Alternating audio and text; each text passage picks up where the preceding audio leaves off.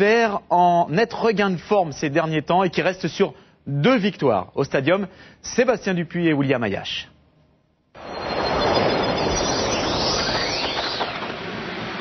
C'est vrai, Toulouse est installé en haut du classement, mais Toulouse marque un peu le pas en ce moment. Deux victoires sur les deux derniers mois. Ce Saint-Etienne en pleine relance eh bien, veut en profiter tout simplement. Les Verts sont ambitieux, Toulouse est solide, choc de style donc et véritable révélateur pour ces deux équipes. Et attention à ce long ballon, première occasion, la sortie de Cédric Carasso, première alerte sur les buts toulousains, la défense prise dans le dos. Oui, une défense toulousaine prise dans le dos, surtout très mauvais euh, placement de, de Mathieu qui était un petit peu excentré. Ça aurait pu profiter à Gigliotti. En tout cas, très belle sortie de, de Carasso. Ouais, bien joué de la part de Brian Dargounou, la passe à contre-temps. Et tout de suite, la profondeur cherchée avec André-Pierre Gignac. Il est entré dans la surface de réparation. Gignac, il se décale. La frappe de Gignac C'est le neuvième but d'André-Pierre Gignac. Un mois sans marquer depuis son doublé ici même face à Grenoble. Il a fêté ses 23 ans vendredi dernier. Neuvième but sur les 15 désormais inscrits par Toulouse. C'est la Gignac dépendante, 1 à 0. Oui, on voit bien, là, je dirais, ce but qui vient concrétiser cette domination toulousaine. Et là, et là Pierre-André Gignac fait la différence sur ça. Et malheureusement, Jeannot est, pris sur son premier poteau. Écoutez, les, je dirais, les intentions toulousaines sont en train de, de prendre le dessus sur les intentions stéphanoises. Mathieu avec Bergogno.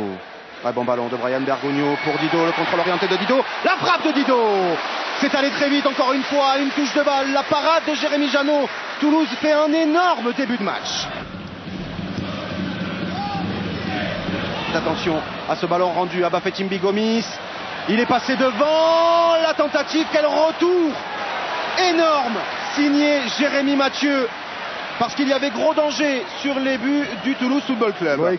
on voit au départ la, la, petite passe dans l'intervalle où Mathieu prend le dessus sur, sur taux et, quel retour de, Mathieu qui, se met juste en opposition et qui empêche automatiquement de, de frapper au but. Et qui repousse ce ballon de la main. La réaction stéphanoise peut-être sur coup de pied arrêté avec Dimitri Payet. C'est haut et bien frappé. Varro en deux temps. Sissoko, Matsui qui s'essaye, c'était bien joué. Et il obtiendra même un coup franc.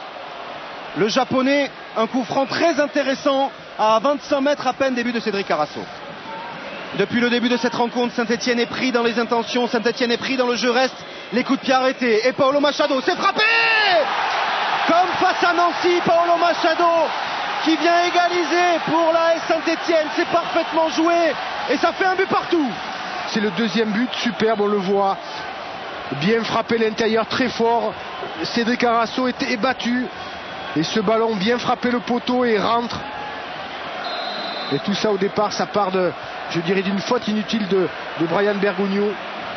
C'est la seule véritable occasion stéphanoise, la seule réaction des Verts. Saint-Etienne qui égalise donc un but partout.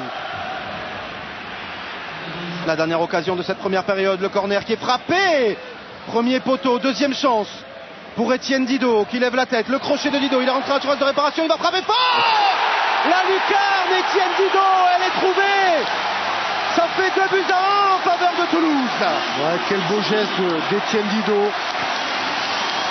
La passivité aussi de, de Gigliotti qui est effacé comme, un gosse sur cette action. On le voit. Euh, voilà une relance un petit peu hasardeuse des, Stéphanois où là Etienne Dido fait fin de frappe, automatiquement il, se retrouve face au but et là il, enchaîne de l'intérieur. Quel but de la part d'Etienne Dido. Etienne Dido, passeur décisif la semaine dernière à Lille. C'est le baromètre de cette équipe toulousaine. Avec Gigliotti, contre l'orienté un petit peu long de David Gigliotti. De même pour Sissoko qui s'est battu et qui a récupéré avec Mathieu Gignac. Le bon contrôle de Gignac, il est passé, superbe. Geste technique d'André-Pierre Gignac, il a des solutions au milieu, il est entré dans la surface de réparation. André-Pierre Gignac, le centre en bout de course, la réussite La réussite d'André-Pierre Gignac, c'est son dixième but sous les couleurs toulousaines. Le gros travail sur, euh, sur Bayal, et là, la fixation de, Gignac qui se bat jusqu'au bout et, qui était récompensé par un super but quel grand pont sur, sur Bayal qui ne peut rien faire. Là même, si Machado vient à couverture. Il montre 10 avec les mains, 10 comme son total depuis le début de la saison. Lui, le stadium, c'est son jardin. 8 de ses 10 buts ont été inscrits ici. Un bon ballon encore une fois, destination d'André-Pierre Gignac. Petit ballon par-dessus la main de Gignac peut-être. Gignac qui avait tenté le piqué, la parade de Jérémy Janot. Encore une fois, très belle action des Toulousains qui se projettent très vite, très vite vers l'avant. Bon ballon dans la surface de réparation, la déviation de Gomis, deuxième chance Ouais, parce que c'est une, vraiment une belle occasion pour cette équipe de Saint-Etienne. Malheureusement, cette frappe de Machado passe au-dessus. C'était une, une occasion de revenir au score et de mettre la pression sur cette équipe toulousaine.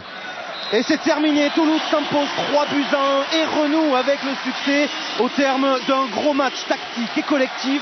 Saint-Etienne n'a jamais pu sortir du pressing toulousain. Le TPC qui confirme un peu plus encore son statut et sa place en haut du classement.